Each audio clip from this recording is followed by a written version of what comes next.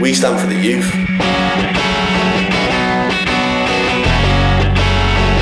Because they shape the future.